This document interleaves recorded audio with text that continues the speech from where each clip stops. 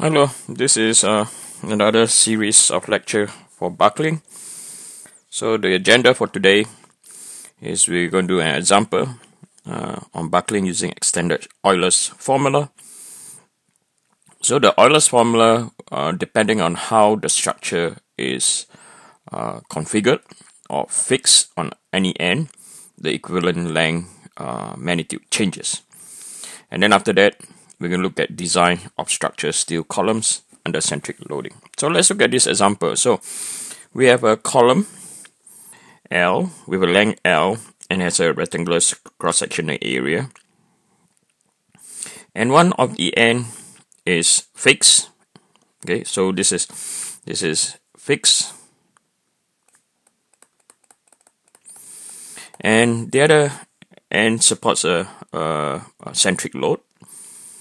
So what you can see at point A is you have support at point A. Okay, that looks like that. Okay, so two rounded uh, edge fixed plates at A and moving in on the vertical plane of symmetry of the column. Okay, but allows it to move the other. So i.e. in this direction is allowed to move left and right. Sorry, left and right, and is also allowed to move up and down so it's basically free. And on the other support, it is not allowed allowed to look at go for left and right. So I will elaborate on that later on. So what we're going to find is we're going to determine the ratio. I will, I will again uh, we will I will highlight what is going on down here. Okay. So don't worry, my explanation earlier was not fantastic, but once I draw it out, we can see better. So determine the ratio A over B of the two sides of the cross section corresponding to the most significant design against buckling. So, i.e., this structure can buckle in your along your uh, xy plane and also along your xz plane. So we want them to be uh, both on both planes of buckling. We want them to have equal strength. Okay and then we're going to design the most efficient cross section of the column given all those data over here for part B. Okay, so let's look at part A now. So I'm going to copy this diagram. Hey, eh, sorry. And we're going to I'm going to make a smaller version so you can look at it clearer. So the first thing we're going to so we look at our transformation x, y, and z. Everything is, is given. So the first one we're going to analyze, I'm going to analyze on the xy plane. Okay, so we're going to analyze on the xy plane. So to draw our transformation, this is my y, this is my x, and then we have a rotation about z down here. Okay, so we're going to sketch this out. Okay, so we're going to sketch this out. So one end is built in. Okay, so this is my point B. And then point A, it has two plates that's rounded. Okay, so in fact, there they are in contact. Okay so I'm, I'm going to draw them in contact. I'm going to push it in. They're going to be in contact.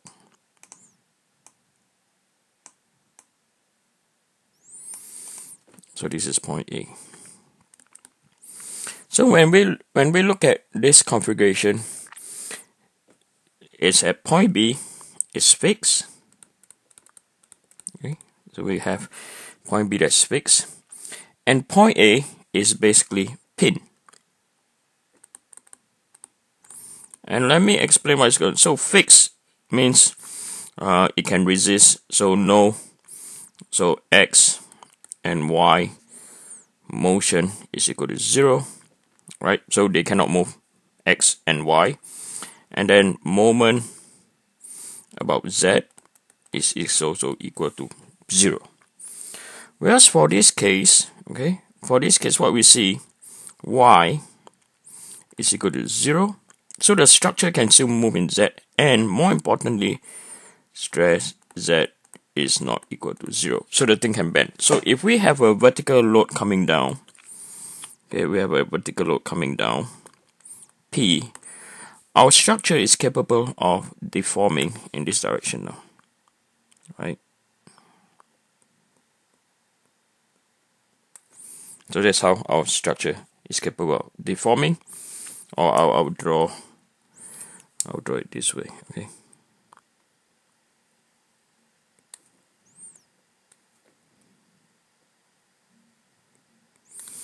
right? And when that's the case, we know we have to find what is our IZZ. Because the curvature, right, the curvature, this curvature over here, right, and this curvature are in the same uh, slope or in the same curve direction. So that's why it's curving by the z-axis. So that's why we have to find IZZ. Okay, so when that's the case, if we go back to this lecture over here, so one fixed end and one pin end, L is equal to 0.5. Okay, we have a different configuration over here. So both ends are pins. So our situation is not both ends are pins, okay, because at point B is on a pin situation. So ours is not. So from here, by looking at extended Euler's uh, formula, we know that this will be equal to uh, L E is equal to 0.7 L. So you can write this up now. Okay, so you go over here. So we know that LE is equal to uh, 0.7 L. Okay, now let's look at the other configuration. I'm going to split this into two. Let's look at the other configuration then. Okay, let's look at the other plane. Okay.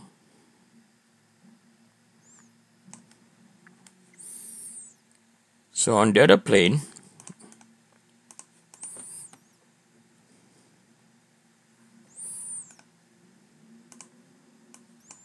oops, sorry. So let's look on other plane now. So now we're going to look at, uh, we're going to focus on plane.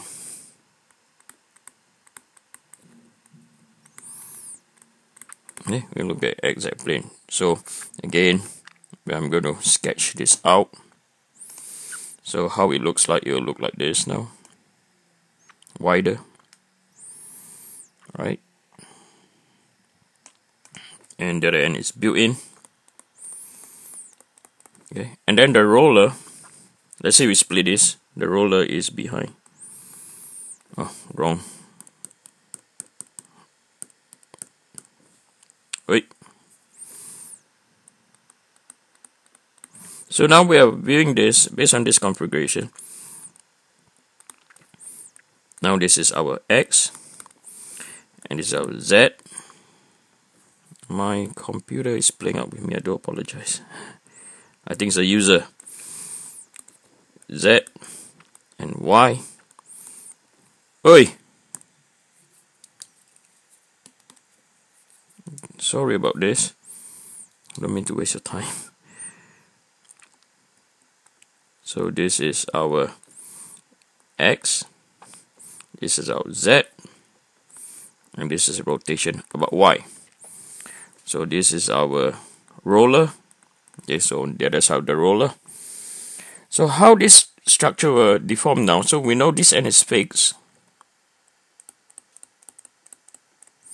And the other end, if we put a load P down, okay, we load a P down, the structure will deform this way. Okay, so structure will deform this way now. Alright, the structure will sway this way.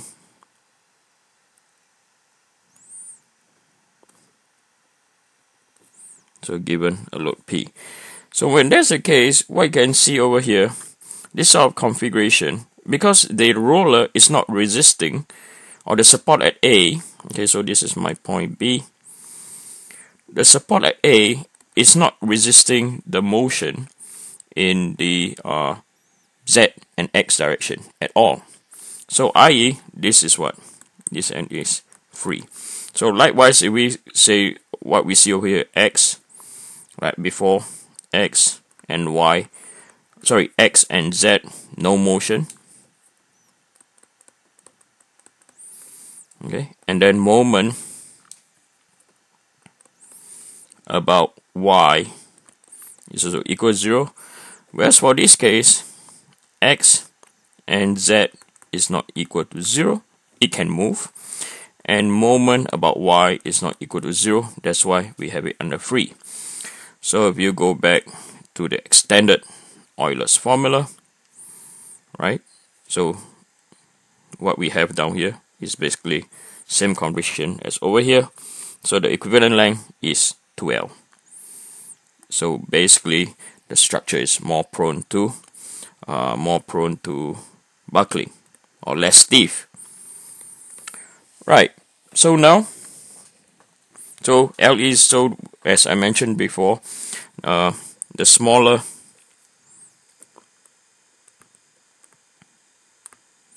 LE um, uh, will increase the resistance to buckling and this is because of the support. Okay this is purely because of the support. So uh, from here what we can do now is we can uh, look at how to find uh, second moment of area now. Okay so we go find second moment of area. So over here looking at the deformation pattern we know that uh, we have our IYY okay? Right? So this we have to find IZZ that we have to find IYY so I'm going to draw our structure in this configuration. Top view. Okay? And then we have our axis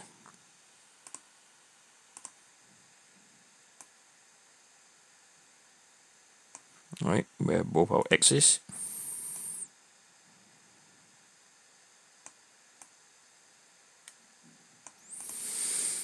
so this will be our YY and this will be our ZZ okay so I need for both. And we're going to do something that you're very familiar with.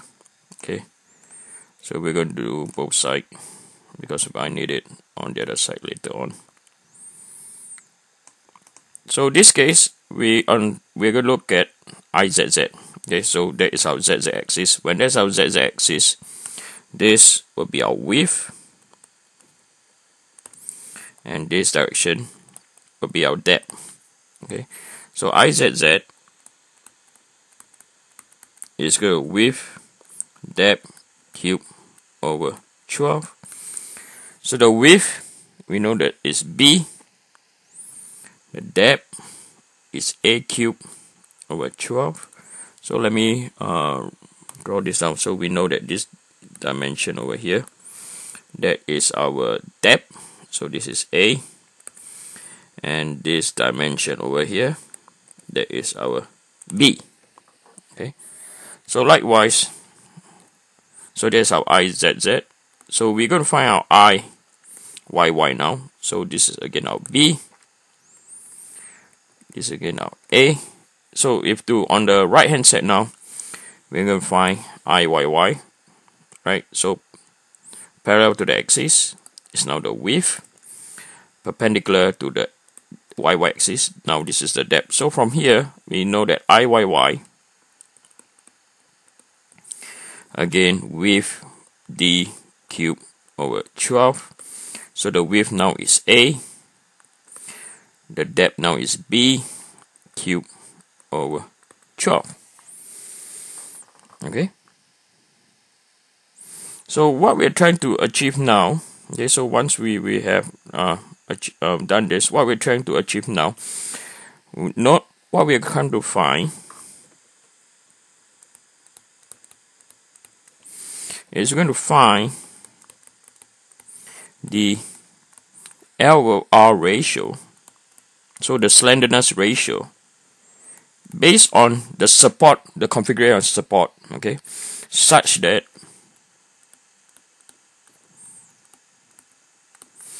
uh, the uh, slenderness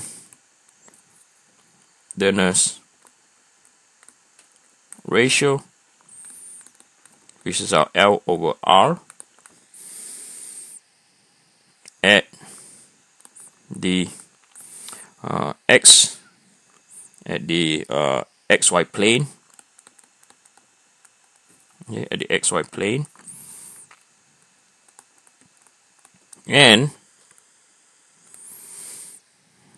xz plane okay xz plane are equal? So this is what we're trying to achieve. Okay.